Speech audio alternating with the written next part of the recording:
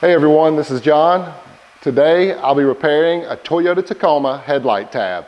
Let's go ahead and identify the plastic. The housing is made out of polypropylene.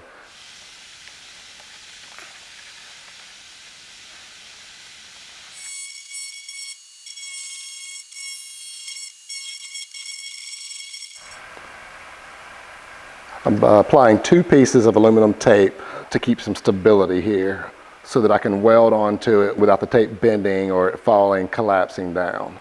Since polypropylene does not come in gray, we're going to use our gray TPO welding rod, which is the same type of plastic as polypropylene. So I'm going to begin using the 01 profile to outline my tab, and then I'm going to come back with the 04 profile to fill it in.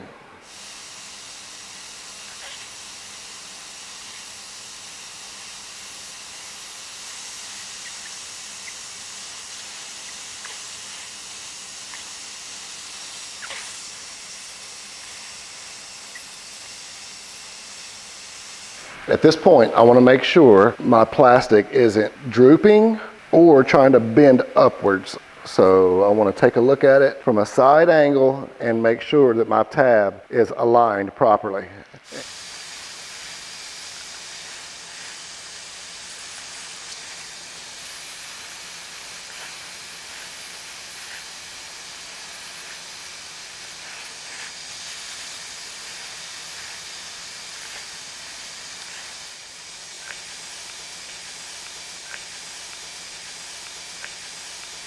And don't worry about if you fill the hole in. You'll be able to see it on the backside and drill it out. You can't put too much pressure on this tab while you're smoothing it or you will collapse it. Just kind of let the weight of the welder lay on it and just kind of float your tip across the tab. And I actually did fill my hole in but again, not a problem. When I flip it over on the back side, I'll be able to see exactly where to drill the hole.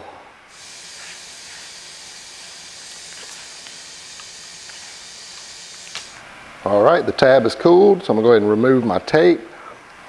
Kind of brace that tab while you remove the tape. We don't want to put any stress on it at this point. Uh, the back side hasn't been welded yet, so it's a little weak.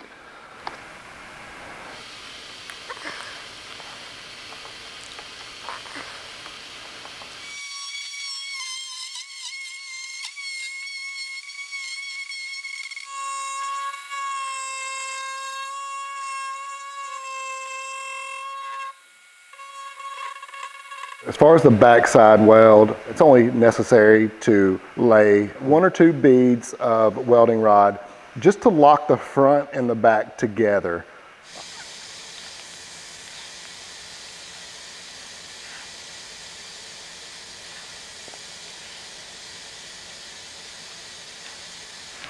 It actually has moved on us, so I'm gonna hold the tab down and blow some air on it to kind of lock it in place.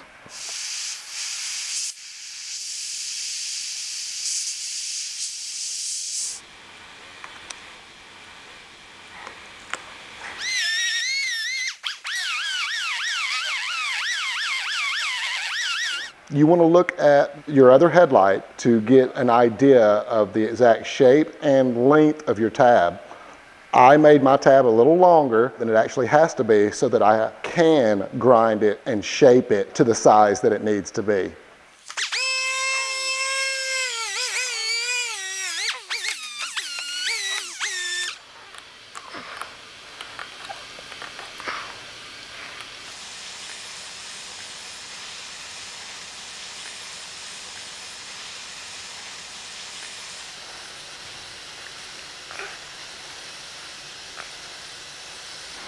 So we're building it up higher than it actually needs to be so that we can grind and shape. We want to have plenty of material to work with here.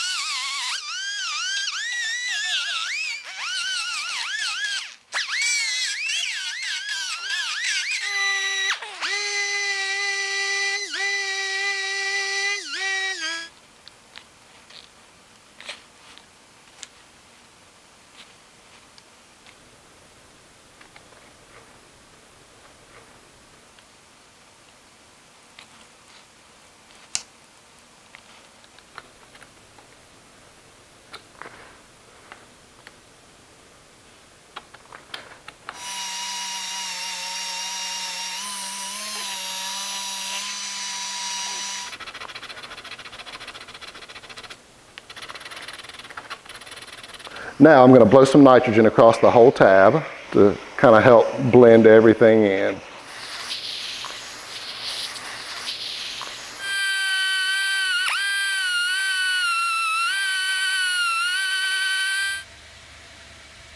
And that is how you repair a broken headlight tab.